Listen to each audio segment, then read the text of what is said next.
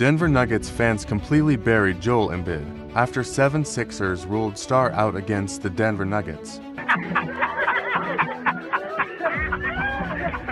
A quirk of modern NBA life is that two of the league's biggest superstars of the 2020s rarely play against each other. It's not just that Philadelphia 76ers center Joel Embiid and Denver Nuggets center Nikola Jokic play on opposite sides of the country, and thus in different conferences.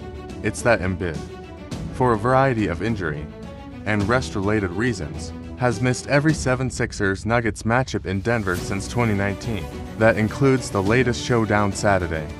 Aired on ABC and heavily promoted by the NBA. Nuggets fans responded to Embiid's knee soreness related absence by raining taunts on a short-handed Philadelphia team, including chants and a vicious mock-up missing person sign. Referencing the 76ers center, in Embiid and Jokic's most recent clash in Colorado on November 8, 2019. The latter posted 26 points, 10 rebounds, and 6 assists against Embiid's 19 points and 15 rebounds. Denver rallied from 19 down at the start of the fourth quarter to win 100 to 97. Since then, Jokic has won two MVP awards and an NBA title, while Embiid added an MVP award in 2023.